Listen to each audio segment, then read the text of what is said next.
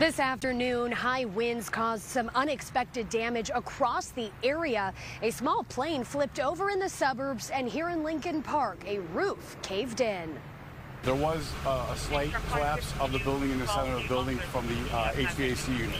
As heavy rain moved through the area, the Goldfish Swim School in Lincoln Park took an unexpected hit. Our companies quickly established collapse zones and evacuated the building. Fire officials were called around 3 p.m. One person was inside but wasn't hurt.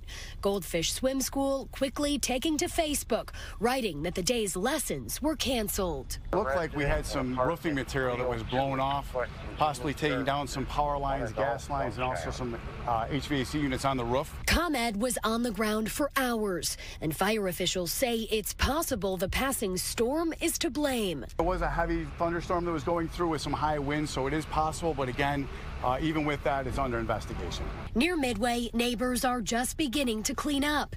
A power pole snapped, and at least one car lost the battle to Mother Nature. As soon as I came out, I saw all this mess. My electricity's out, half of my fence is out. In the western suburbs at the DuPage Airport, two people were on board a single engine Cessna aircraft when high winds caused it to overturn. The Federal Aviation Administration is investigating.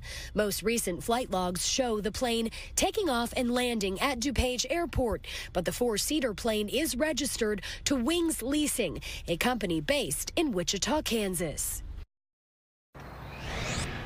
At DuPage Airport, wind speeds were recorded at 55 miles per hour. It's unclear if those passengers were injured. We've reached out to the West Chicago fire officials for more information.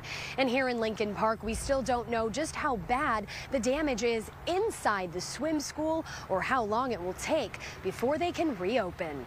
Reporting live in Lincoln Park, Kasey Chronis, Fox 32, Chicago.